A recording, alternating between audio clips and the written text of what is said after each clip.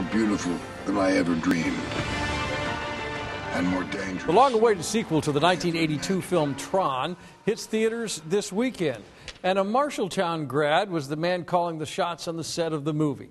Angie Hunt has the story. It's new for you at 10. Hello, Angie. Hi, Kevin. Well, his teachers might not have guessed that Joseph Kosinski would become a Hollywood movie director, but they knew he'd find success. A place of infinite possibility. It's the multi million dollar sequel to the 80s cult classic. Created entirely on computers, Tron Legacy is sure to wow moviegoers with its special effects.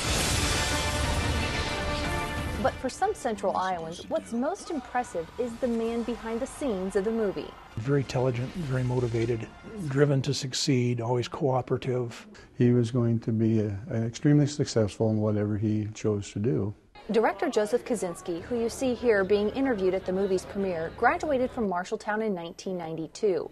His high school band director says Kosinski was a talented musician and a natural leader.